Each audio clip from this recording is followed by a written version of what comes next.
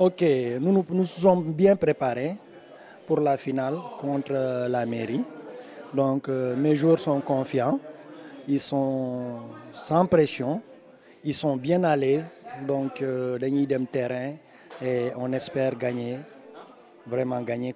Si si si, on s'est rencontrés en première euh, en phase de poule et on les a battus. Oui, la pression est avec eux. Nous on est à l'aise. Et puis on va au terrain et puis l'esprit décompressé et puis voilà, c'est pour gagner. Physiquement, mes joueurs sont prêts. Et mentalement, ils sont bien à l'aise, ils sont relax. Ouais. Oui, en tant que coach, oui. C'est ma première finale avec euh, l'équipe de La Poste. Oui, oui, La Poste est très motivée, donc euh, tous nos collègues sont informés par rapport à ce match. Donc euh, j'espère les voir en masse au terrain. Oui, euh, nous, nous espérons jouer ce match et puis euh, dans le cadre de fair play et puis voilà, finir euh, le match en tant qu'amis.